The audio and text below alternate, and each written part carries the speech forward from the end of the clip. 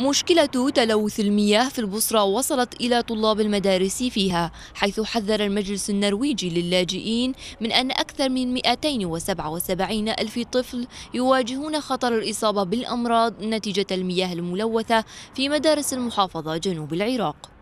وبسبب الواقع المزري لمرافق المياه والصرف الصحي نقل بعض المعلمين معاناتهم للمجلس بالقول إن الأطفال يتوجهون للعلاج في المستشفيات بعد عودتهم إلى المدارس بأعداد تثير القلق حيث يعانون من أمراض شتى نتيجة التلوث. المدير الإقليمي للمجلس وولفان غريسمان قال إن أكثر من 800 مدرسة أصبحت مصدرا للتكاثر وانتقال الأوبئة والأمراض المنقولة عن طريق المياه بما في ذلك الكوليرا وأن الخطر بات يتفاقم خاصة عندما تبدأ درجات الحرارة بالانخفاض في الأسابيع القادمة.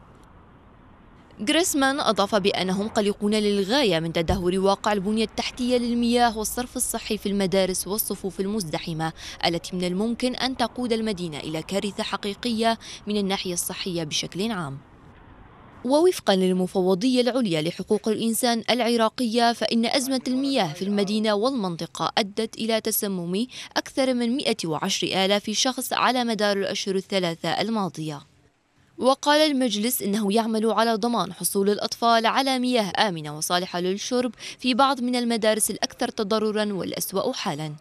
وتسببت أزمة المياه في المناطق الريفية في المحافظات الجنوبية من العراق في مغادرة آلاف المواطنين منازلهم وترك محاصيلهم التي تضررت هي الأخرى من جراء الأزمة.